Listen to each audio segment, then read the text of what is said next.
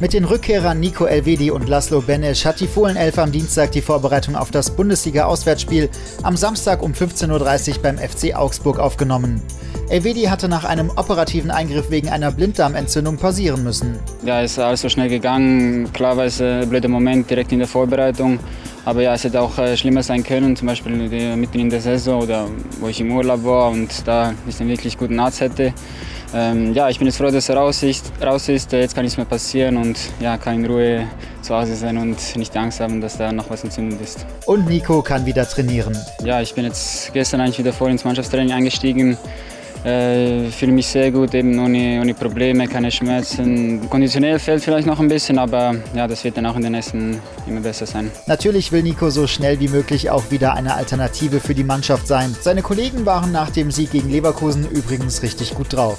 Sehr gut, doch. Ähm, jetzt auch beim Spiel, wo ich gesehen habe, muss ich sagen, ähm, ja, wirklich eine richtig gute Mannschaft, die sehr gut gespielt hat. Ich freue mich wieder dabei zu sein und äh, mit dieser geilen Truppe Fußball spielen zu können. Noch nicht so weit wie Elvedi sind Lars Stindl, Michael Lang und Ibrahima Traoré. Das Aufbautraining verläuft allerdings planmäßig. Lang und Traoré werden in absehbarer Zeit auch wieder zur Mannschaft stoßen.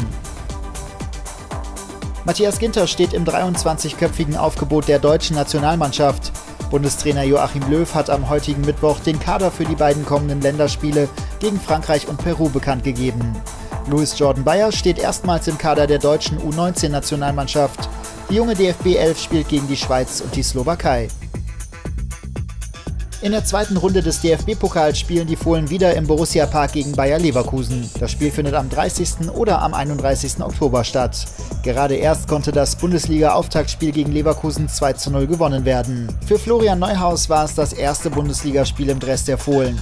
Von den Fans wurde er gleich zum Spieler des Spiels gewählt. Ich habe mich wahnsinnig auf das Spiel gefreut ähm, und wenn ich es mir hätte ausmalen können, dann wäre es glaube ich so gewesen. Ähm, es war für uns unglaublich wichtig, hier mit einem Heimsieg zu starten und das ist uns gelungen und deswegen sind wir einfach jetzt richtig glücklich. Jonas Hofmann schoss sein erstes Bundesligator für die Fohlen, ein verwandelter Elfmeter, der dank Neuhaus zustande kam. Raphael und Fabian Johnson hatten beide große Anteile am zweiten Treffer. Ja, das war unglaublich. Ähm, ich glaube, Jonas hat den Ball, ähm, sieht mich dann in der Lücke, ich spiele zu Rafa und dann haben die zwei das kurz alleine gemacht. Die haben kurz die Abwehr schwindig gespielt. Ähm, das zeigt einfach die individuelle Qualität, die wir haben. Borussia wird die erste Länderspielpause der neuen Saison zu einem Testspiel gegen den Zweitligisten VfL Bochum nutzen.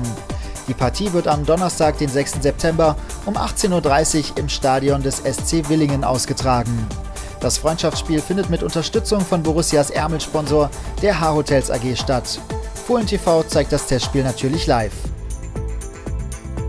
Im Rahmen der deutschlandweiten Kundenbefragung der unabhängigen Analysegesellschaft Service Value zum Thema familienfreundliche Unternehmen ist Borussia bereits zum sechsten Mal in Folge zum familienfreundlichsten Bundesliga-Club gekürt worden. Insgesamt wurden bei der Online-Befragung diesmal 477 Unternehmen aus 64 verschiedenen Branchen auf den Prüfstand gestellt und dabei weit mehr als 40.000 Kundenurteile berücksichtigt.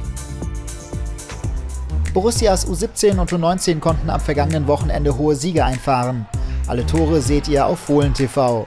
Am Samstag um 14 Uhr spielt Borussias U23 gegen den Wuppertaler SV.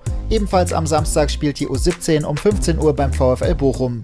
Alle Termine findet ihr wie immer auch auf Borussias Homepage.